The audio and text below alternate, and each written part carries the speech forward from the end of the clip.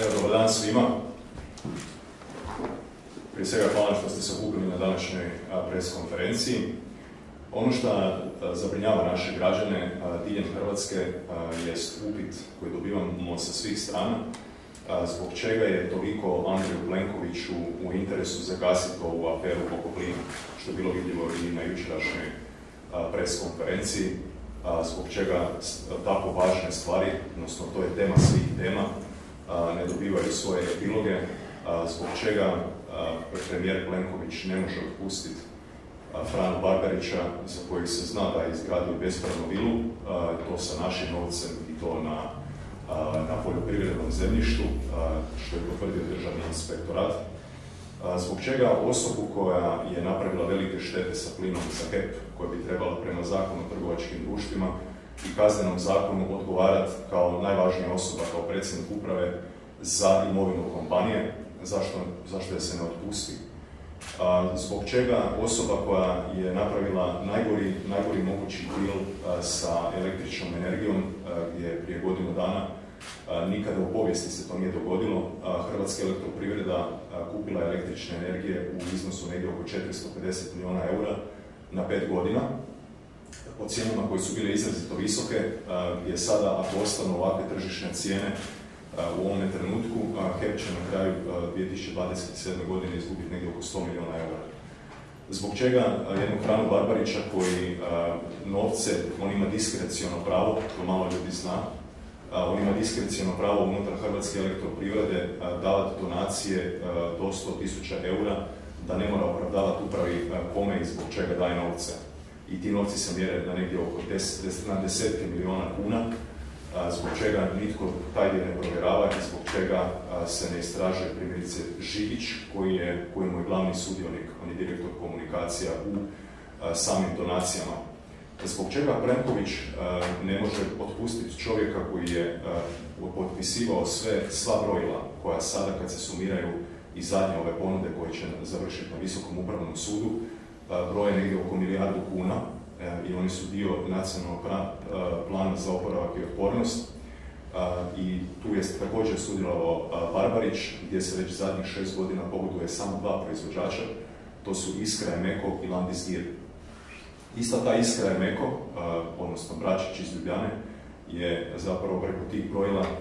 to je sad u istrazi, izvlačenje novac, izgrađenje hotel na Braču, zajedno sa Vujnovcem, Gopcem, Jurčevićem i Bračićem, koji su istoj kompaniji izgradili one hotel u Postirama koji su onda kupili mirovinski fondovi.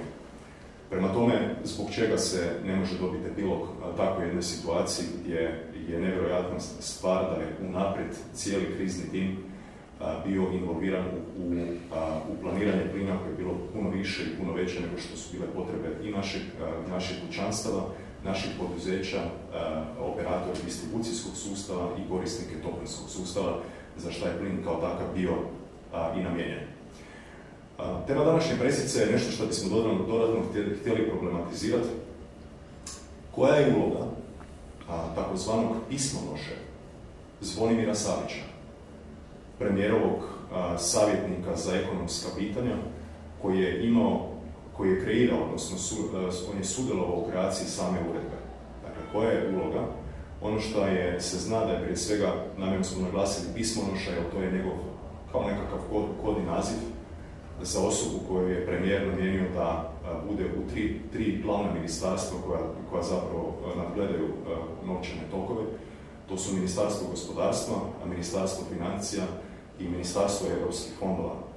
I ne tako davno, kad je bila ona afera Omega Software, su ga upravo načeli mediji da je on upravo siva eminencija našeg premijera, koji zapravo odlazi na sastanke tamo u ministarstva koja sam naveo, koji, koji sudjeluje na sastancima ministarstva, koji sudjeluje u odlukama koje ministar mora donijeti i kada su te odluke čak i protivne odlukama ministara, onda se javlja upravo taj pismonoša koji onda mijenja te odluke sukladno željama i odredbama premijera. Postavljao ljude i na samu, samu skupštinu HEP-a i u sam nadzorni odbor HEP-a i u samu predsjedništvo uprave HEP-a da je postavljao da namjerno je obezglavljena HERA kao regulatorna agencija koju je sam Plenković obećao da će postaviti ljudi ravnateljstvo jer bi oni trebali biti ključna uloga u reguliranju energetskog sustava, ona je namjerno obezglavljena što je direktno odgovornost Plenkovića. Prema tome, ako se zna da je u trećem mjesecu povećana dodatna količina bezrazložno isporuke plina od INE prema HEP-u, što je dodatno potpisao Plenković zajedno sa svojim kriznim timom, zajedno sa svojim pismonošom Zvonimirom Savićem, ako se znalo da su burze što globalne, što regionalne pokazivale da cijena plina drastično pada i da je cijena tržišna pala ispod 47 eura već u samom ožujku, zbog čega se dodatno isporučivao plin, odnosno povećavala cijena na 47 eura. Dakle, pitamo sada ponovno iz trećeg mjeseca zbog čega nitko nije još napravio epilog situacije sa ministricom, gdje je bilo prijetnja smrću i da će biti provlačena kroz blato, što su ozbiljne prijetnje i idu li te prijetnje i samog ureda Andreja Plenkovića. mislim da je ova tema zapravo jako duboka. Ono nije samo da je nestalo 10 milijuna, 10 milijuna eura. Ovo je tema koja povezuje cijeli sustav koji je bio unaprijed iskreiran, gdje je jedini trader sustava, a to je Pavo Vujnovac i njegov, i njegov PPD, bio u samom kriznom timu, pa sve do desetak dana prije izdavanja druge uredbe kojim se povećavala dodatna količina i cijena, da bi on onda tu količinu dvije trećine zapravo dočekao kao, kao krajnji korisnik. najavljamo i dodatnu temu s kojom ćemo se baviti na jesen, to je i osoba Gorana Marića, bivšeg ministra, za koju ne shvaćamo zbog čega je, je tako samo izostao iz zaborava, odnosno jednostavno je izostao sa scene, niko se više s tim ne bavi, a postavio je patronat i nad, nad, nad hrvatskim cestama, nad hrvatskim vodama i nad hrvatskim šumama, i zbog čega se više ne istražuje njegovo pogodovanje oko hotela školskom prijatelju u Baškom polju. I zadnje pitanje je zapravo upućeno sada Dorhu i Uskoku. Čeka li nas uskoro situacija, odnosno afera politička,